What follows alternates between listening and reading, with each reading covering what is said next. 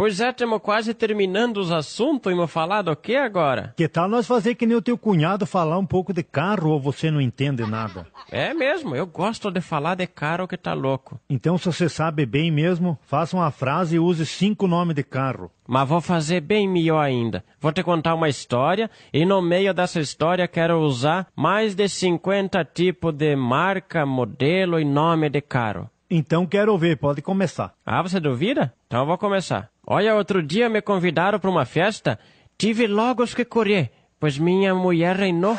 A besta ficou tipo brava, atirou um taco de golfe e quis me dar uma corça. Na celta falava sério, pois hoje pegou a faca e me fez corte.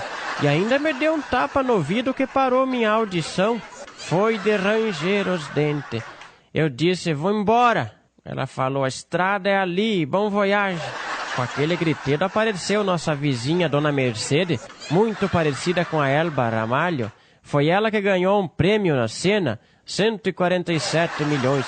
Viajou pelo mundo inteiro. Não sei por quanto tempo ela ficou lá pelos lados da Europa. Conheceu Bonanza, Monza, Montana, foi até Brasília, curtiu uma vista panorama de cima do Corcovado, foi na praia de Ipanema, curtiu as ondas, alugou uma casa de veraneio e ela se assusta quando a maré abaixa.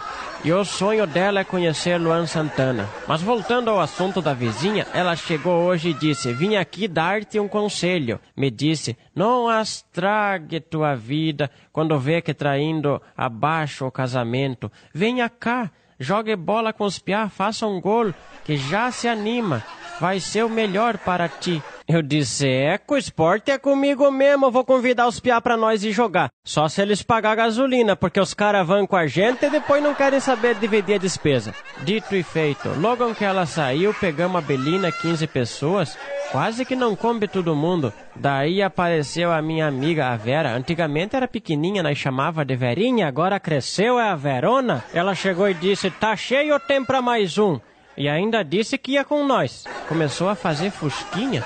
O Romeu, nosso colega, já ficou com ciúme. Eu disse, ah, vá, Romeu, sossegue. Antes que eu te enfia te um no soco na cabeça, te afrouxa as ideias. Mas ele quis disputar ela no paro ímpar. Eu disse, opa lá, como adoro uma competição.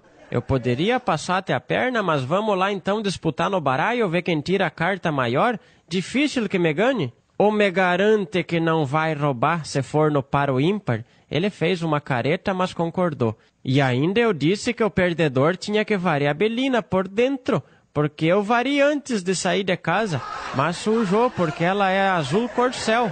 Peguei e atirei da cintura o saveiro, onde eu coloco minha chave, o Fox, que estava no bolso, punha em cima da mesa e disse: Mas cadê, tchê, sua coragem? Chegou a ficar pálido e a minha confiança dobrou.